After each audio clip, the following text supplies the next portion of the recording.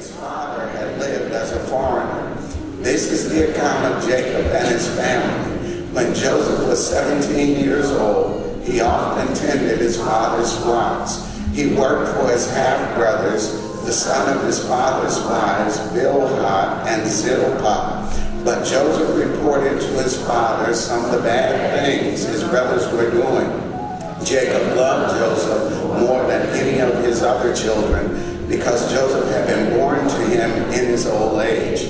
So one day, Jacob had a special gift made for Joseph, a beautiful robe. But his brothers hated Joseph because their father loved him more than the rest of them.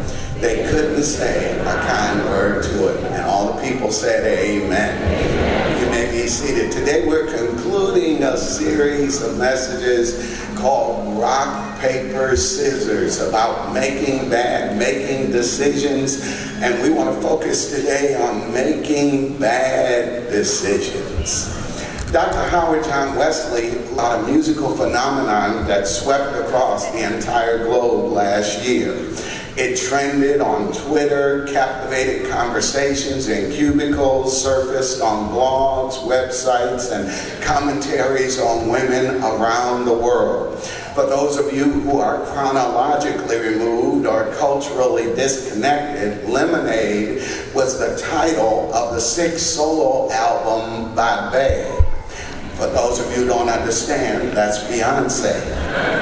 Or Queen Bee, for those of you who do. Her sixth solo album, Lemonade, sold 550,000 copies in the first week, averaging $3 million in sales per day. And those stats alone guaranteed that it would be her sixth number one album on every significant Billboard chart across the globe. Beyonce, aka Mrs. Shawn Carter, who used to sing with the other girls, has once again used her creative genius to redefine the music industry. For those of you who don't keep up with the currents of contemporary culture, Beyonce has become a master at releasing albums with no promotion, no marketing, and no warning. She simply drops them on iTunes, Amazon, Google Play, Napster, or Tidal, and they go platinum overnight. However, her sixth album, Lemonade, was not released on iTunes, Google Play, or Amazon. Instead, it was released as a visual album on HBO, and it took the world by storm. It was notable because as you watch and listen to the album, you're immediately struck by the fact that it is a transparent, empowering insight into the personal and real struggles that Beyonce has had with her family and her marriage. In sharing her struggles, we are all reminded that every single one of us will meet and manage similar struggles at some point in our lives. The title of the visual chapters of her album read like a course on spiritual formation, intuition, denial, anger, apathy, emptiness, accountability, reformation, forgiveness, resurrection, hope, and redemption. As you listen to it, you discover it's an album about reconciling broken relationships, overcoming hardships and disappointments. It's an album about confronting your own demons, both inherited and created, seeking triumph in the midst of adversity, turning things around, finding ways to forgive those who have failed you, and recovering from bad decisions. Have you ever made a bad decision in your life? I'm just searching for a few honest people who came to church. Because let me quickly suggest to you today that the power of her album was not in the music, but in the message. Because if Beyonce, with all of her success, can still struggle, if Beyonce, with all of her celebrity, still has crises, if Beyonce, with all of her prosperity, still knows pain, if Beyonce, with her fine, I mean, Rose Watson fine self, can still have to face and fight infidelity in her marriage. It's a sobering reminder to all of us that there is no level of income, education, authority, fame, or celebrity that will grant you immunity from the rugged realities of this life. Life happens to everybody. Loss happens to everybody. Lies, disappointment, rejection, hurt, heartache happen to everybody. And everybody, if you live long enough, will make some bad decisions from which you have to struggle to recover. Can I have an amen right there? The title of that album is Lemonade, which is a tribute to Beyonce's grandmother, Agnes Dereon, who, according to her own reflection, spun gold out of this hard life, conjured beauty from the things left behind, and found healing where it did not live. Near the end of the visual album, we're transported to the 90th birthday party of Jay-Z's grandmother, Hattie, who drives home the real and relevant cliche when she says, life gave me lemons, but I decided to make some lemonade. Lemonade is a reminder that it's not what life gives to you that really matters for you, but it's how you meet it and how you manage it. That when bad things happen, they either define you, destroy you, or develop you. And this is a great life lesson we all should try to learn and teach others early how to take adversity and make advantage, how to take failure and find success, how to translate minimum wage into maximum wealth, how to get knocked down but get back up again, and how to make bad decisions but still bounce back and recover. I recognize in coming here today that maybe Beyonce is a little too contemporary for this crowd, but I want to suggest to you that no matter how old you are, the album might be new, but the message is definitely not because we all learn from the gospel according to Gladys Knight back in 1973. Yeah, I'm in the right decade now. Gladys Knight sang, I really got to use my imagination to think of a reason to keep on keeping on. I've got to make the best of, best of. Yeah, see, I knew y'all was lying. Amen a bad situation because no matter how bad a situation or decision was or is, you can't let it kill you. You can't let it conquer you. You can't let it confine you. You can't let it contain you. You can't let it control you. You have to face and embrace the bad decisions you have made and those made by others that have negatively affected your life and declare that by the grace of God, I'm going to turn these lemons into some lemonade. Have I got any lemonade people here today? People who have made up your despite mistakes, the wrong turns, and the bad decisions in my past, I will not permit my past to dictate my future. Where you at up in here today? Because if you have ever struggled with bad decisions, you can identify with the characters in our textual chronicle today. This text is riveted with bad decisions. The drama centers on Joseph. His family history is enough to make an exceptional reality show or a great soap opera. His father, Jacob, worked for his future father-in-law for seven years to try to win his mother's hand in marriage. Then at the conclusion of the employment contract, his father-in-law deceived Jacob into marrying his oldest daughter, Leah. Everybody say bad decision. He ultimately married both sisters, but Leah gave birth to six sons before Rachel ever became pregnant with one. But Jacob doted over the one, showing favoritism to him, as we read together, even providing for him a coat of many colors, a symbolic mark of distinction and royalty. Everybody say bad decision. Joseph flaunted his favoritism and his boasting evoked jealousy and envy in his siblings. Joseph's rift became rivalry and sibling rivalry can be a dangerous thing. When Brothers and sisters who should be connected end up competing for the love, affection, attention, and applause of their parents. It can be a dangerous circumstance. And so it was in the text. His brothers mistreat him. They plan to kill him, but ultimately sell him into slavery. Somebody say bad decision. See, this textual landscape is littered with bad decisions. Give me a moment to walk you through them because note again that Joseph was the son born to Jacob in his old age. He was not only a cherished child, but he was a visible reminder that the old man still had. He was Jacob's favorite. Everybody shout favorite. We already know how this works because we've seen it in our own families. It's a challenge for parents to give appropriate amounts of love and affection to every child. Have you ever noticed how photo albums tend to be different for different kids based on their birth order? The first child's photo album has 471 pictures in it. The next child has 230 13.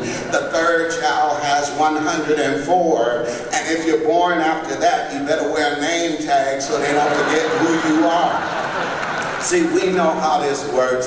When the old other boys of the family would walk into the room where Jacob was, he would ask them about their work and about the flocks. But when Joseph walked into the room, his face would glow and his eyes would twinkle. In social settings, Jacob bragged about Joseph. On trips, Joseph was the one riding up front. Joseph got to stay up later, stay out longer, work less, and get away with more than any of the rest of them in a hundred different ways, in ways that do not register with most parents. Jacob's favoritism for Joseph leaked out of him. Can I have a moment to talk to parents real quick? It is always a bad decision to play favorites with your kids. Children don't need to be treated equally, but they do need to be treated uniquely because each child is a unique expression of the image of God, the power of God, the love of God, and the grace of God. Each child is precious in the sight of God and valuable to God, and therefore ought to be valuable to you and I. Jacob favored Joseph and decided to give him a Now, this was no ordinary robe. We're not talking bed and bath here. We're not talking about Sears and Roebucks. This is a highly ornamented robe. The Hebrew word used to describe it was a little uncertain because it's translated long sleeves. The King James Version calls it a coat of many colors. But let's imagine, spiritually for a moment, that Jacob went to the Neiman Marcus of his day and got this hand-tailored, highly ornamented, full-length robe for Joseph, while the rest of his son got clothes off the rack from Kmart when the blue light was flashing. What made this robe issue so explosive was not just that it was more expensive or better fabric, but that in those days, as in these, clothing was an expression of status. Come in this room. In many eras, my friends, certain colors were reserved for royalty. If you wore purple, it was an explanation and declaration of your status. In the same way, in many eras, slaves were not permitted to wear shoes. If you had shoes, it meant that you were free. Clothing was an expression of status. This robe designated Joseph as the executor of his father's will and estate, even though he had 10 brothers who were older than he was. Don't miss that because blood is thicker than water until you add money and sex to it. This was an open visible, in your face expression of raw favoritism. It was a bad decision. Every time Joseph wore that robe, and he wore it often because it made him feel special. He wore it in the street, he wore it in the house, he wore it to the bathroom, he wore it to breakfast in the morning. It was a reminder to his brothers that they will never be loved by their father the way that he was. Every time he wore it, his brothers died a little bit inside. The robe that was so beautiful and special to him was a death shroud to them. We read it together because verse 4 pains, but when his brothers saw that their father loved them more than all of them, they hated. Stop right there. Who are they going to hate? In what direction will their anger be directed? Who is at fault at this point in the story? Who is the person who made the bad decision? It's not the son, it's the daddy. It's not Joseph, it's Jacob. He's the one that's playing favorites. He's the one that purchased and provided the robe. But notice, his siblings didn't get mad at their father. They got mad at their brother. It was not Jacob, but Joseph who became the target of their animosity. And I hope I'm helping somebody now because I believe that the writer of this text is profoundly accurate in communicating to us the way that jealousy and favoritism work. The brothers don't get angry with their father because to do that is to face the truth that their father loves them with a love that is imperfect and derisory. And to face that truth would hurt too much and hurt too deep. So they sidestep it and aim their antagonism at their brother Joseph. Verse 4 says they hated him. And when you finish it, it says, and they could not speak one kind word about him. They could not summon the power to share community with him and that's what family is supposed to be about. That's what God was and is doing in the world. That's what God was and is up to in the church. That's the goal of prophetic witness and ministry to transform the chaos of human brokenness in the human community. But that piece was shattered. They couldn't find one complimentary, considerate, caring word to say about him or to say to him. Every time they saw that robe, these brothers died a little bit on the inside. And what effect does all this have on Joseph? How does the robe wearing Joseph, how is he affected? Well, interestingly enough, the writer doesn't comment on his character at this point, but it doesn't take a rocket scientist to surmise that he grew up because he was favored a little bit flawed. I want you to see this in the text. Verse 2 tells us that it was his assignment to serve as an assistant to his brothers. Everybody say assistant. But for some reason, every time he gave a report to his father about his brothers, it was negative and critical. The text says, and he brought his father a bad report about them. Now, we recognize this in our own families. It's the person in your family who is with you watching while you doing it, but as soon as you do it, they say, I'm gonna tell. See, he was the favorite, but he was also flawed. And what I need each of us to understand today is that the example of the father's bad decision affected and impacted all his sons. That all of them were damaged by that decision. Did you get that? That Joseph had dreams. Watch this. And in those days, dreams were considered prophetic and predictive. Joseph had dreams, and it didn't help matters that he could not keep his dreams to himself. Can I drop my kickstand right there? You can't do. Sometimes you just have to shut up and let God work things out. I ain't gonna get a lot of he and his family were out in the wheat fields and his wheat sheaf stood up while all the other wheat sheaves bowed down to it. Understandably, his older brothers were a little hot under the collar because they understood what he was implying. Do you mean to tell us we all gonna end up bowing down to you, notwithstanding or not understanding the need for diplomacy or tact? Joseph then went on to say, well, I had another dream. And in that one, not only were the wheat sheaves bowing down to me, but the sun and the moon and the 11 stars, symbolizing his mama, his daddy, and all his cousins them was going to be bowing down to him. And of course, at this point, they had all had enough. They got up from the table, they cussed under their breath and returned to their work just to get away from him and his annoying dreams. Can I help you see it? Because verse 5 makes their response real clear when it says he told the dream to his brothers, listen, and they hated him even more. Note that word hate. Hatred is a viral emotion.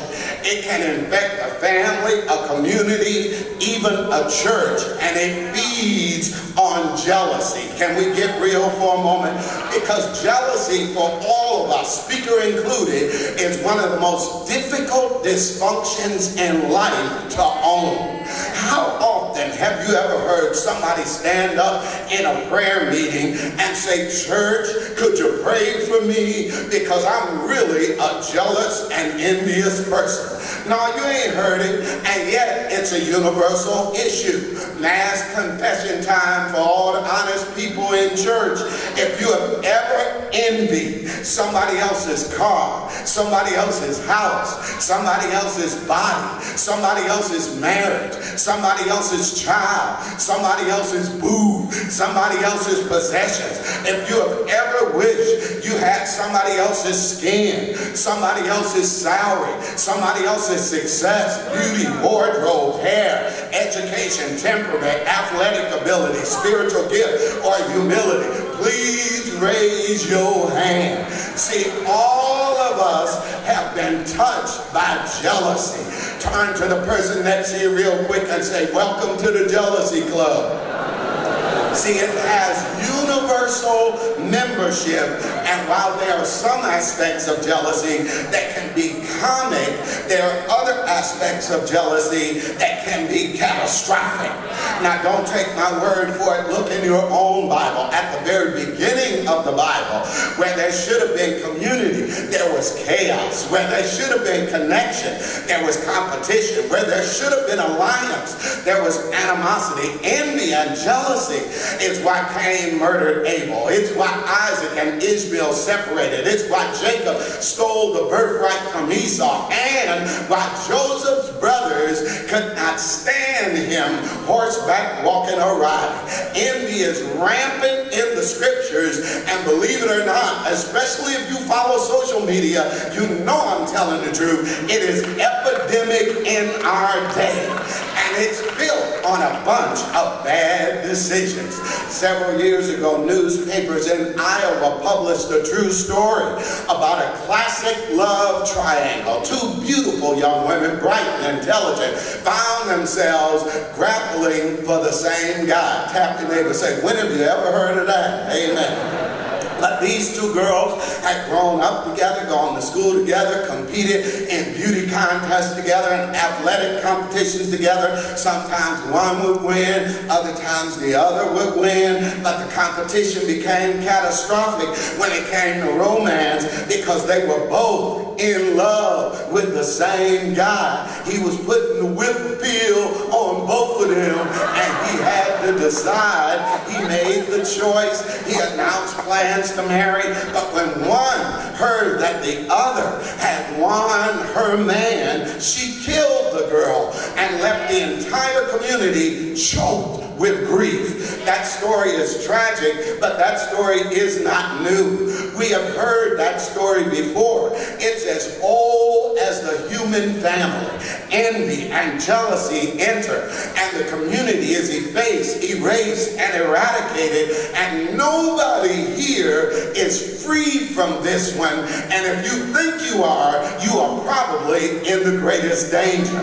Joseph is the favorite, but he, his father, and his brothers are flawed. And whenever our flaws go unacknowledged and untended, there is the potential for enormous fracture. Jacob, who may not have been the sharpest tool in the shed, sent Joseph out to check on his 11 brothers wearing his fancy, I'm better than all y'all coat. It's amazing that Jacob had been so blinded by his own favoritism that he could not see the murderous hatred brewing in the hearts of his own sons. Naively, he sent Joseph out of the sphere of his parental protection. Give me a minute. When parents are uninformed, when parents are oblivious, a lot of damaging things can happen to their kids. I deserve an amen right there. Verse 18 said they saw him from a distance. The implication being that they knew who he was even though they couldn't see his face. How did they recognize him from a distance? Can I tell you? It was that robe in verse 19, they said to one another, Here comes this dreamer. Now notice, they did not acknowledge his relationship. He's not called brother. They did not acknowledge his personhood because when you allow envy and jealousy to go unchecked, you cease to think of that other person as a human being. You don't think of them as a person. You don't think of them as somebody's son, somebody's daughter. You don't think of them as a brother or as a sister. You reduce them down to the one thing that they possess that you do not possess. Here comes the one who has a dream that we will never have. Here comes the one who is our Father's favorite and we will never be. Here comes this arrogant would-be ruler. Let's kill him. Let's throw him in one of these wells. Let's say that an animal devoured him. And then we'll see what will become of his dreams. Now please pay attention here because Joseph's brothers, listen close, have a somewhat legitimate grievance. Did you hear what I just said? Because when you probe it, especially on a psychological level, they have been denied a father's undivided love. They are fractured with a very real hole in their heart. They have not received the kind of love from a father that they needed to receive, but their solution was to destroy the brother for the father's failure. And that's what envy and jealousy try to do. That's exactly what envy says. Envy says, I want what somebody else has. I want it and I'll do whatever it takes in order to have it. If I can't have it, I don't want anybody else to have it either. And if they do have it, I will have to destroy them too with my tongue, in my heart, in my mind. I'll have to kill their reputation. I'll have to slander their character. I'll undermine them. I'll say bad things about them. I'll listen to and participate in slander and gossip about them. And I'm going to spread it around even if I have to do it as an artificial prayer concern. That's what envy looks like. It is nasty. It happens in families. It happens on the job. It happens in churches. And it will assassinate any sense of community. And to the extent, my friends, that you find yourself engaged in that type of behavior and letting jealousy and envy have free reign in your heart and free reign in your life, no, it will destroy you and it will destroy the community around you and it should stop. Yes, I'm be your parent today and tell you, stop it. It must not be so. Not in this place, not in our families, not in our community, not here. Everybody who agrees say not here. Not here. And everybody who don't, just take your whooping. See, they decide that the only medication for their aggravation was his termination. I'm in verse 23 where it says, So Joseph's brothers, when Joseph came to them, they stripped him of the robe, the long robe with sleeves that he wore. The plan was to kill him, wait, but by the grace of God, Reuben, the oldest brother, intervened. And listen to what he says. Joseph's fate turns on a maybe. He says, maybe we shouldn't kill him outright. Let's just throw him in the pit. Wait, I paused right there. I slowed down because I'm a fast talker, but I slowed down right there. I kicked it from 78 down to 33 so you can roll with me. Because all of us ought to pause right there and thank God for the Reubens in our lives. People who showed up and spoke up to keep us from being toe up. Anybody here ever had a Reuben in your life? Somebody who stood up for you when you couldn't stand up for yourself. Somebody whose intervention saved your life, changed your destiny, and alter your future. Here go your 10 seconds. You ought to thank God for your Reuben. He intervened they didn't kill Joseph. They stripped him of his coat, but he still had his life. Boy, that was a shout right there. Since y'all missed it, I'm going to roll on. They took his coat, but he still had his life. They, they took his Nike Airs,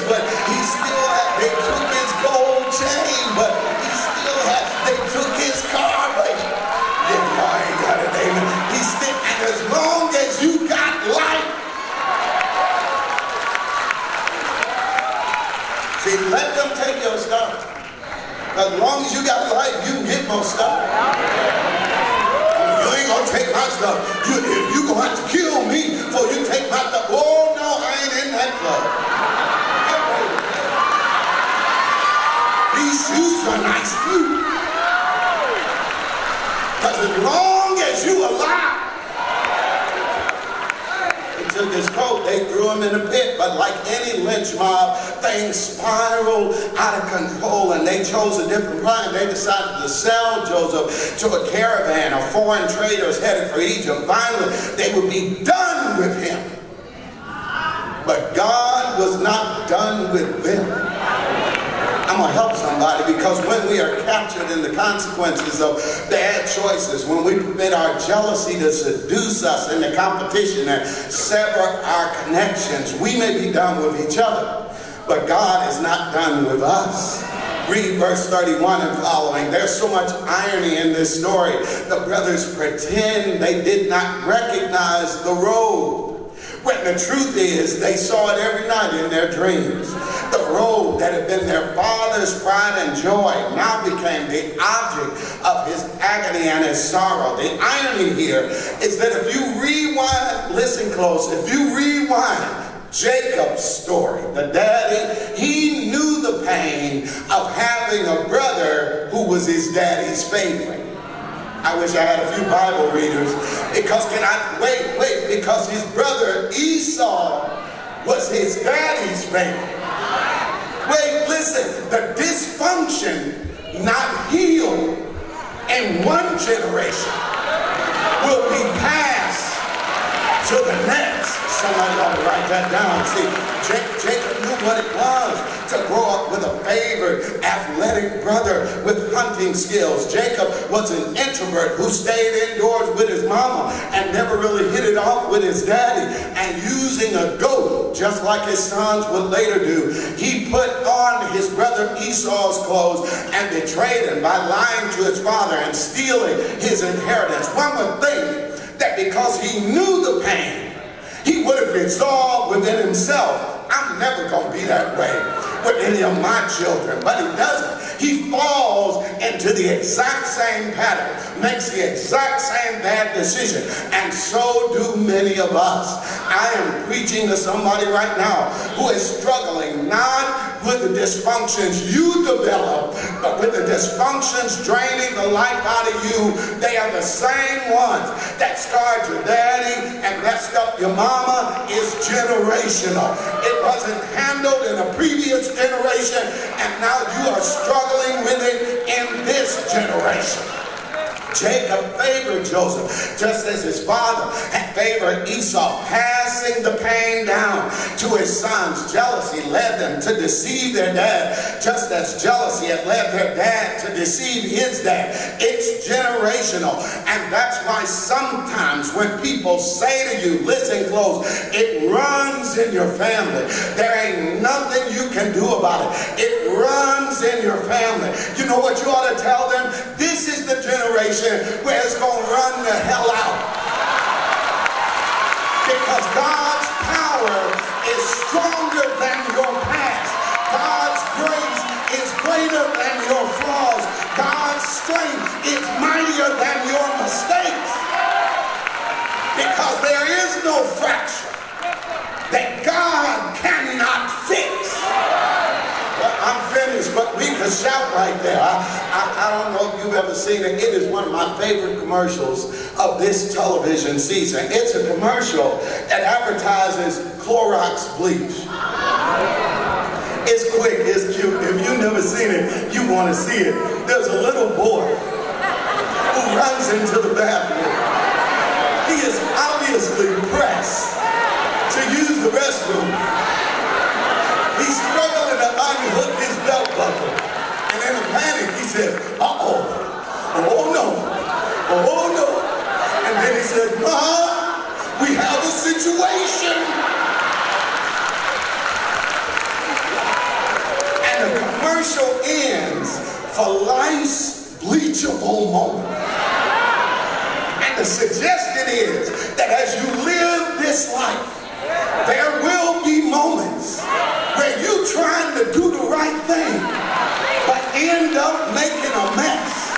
There will be situations that Clorox is a fix for any mess you have to manage. Come here, because while I can't vouch for Clorox, I can vouch for Christ. And I want to testify that when you have a situation that you cannot fix, if you call him, he will fix it. Have I got a witness? Won't he do it?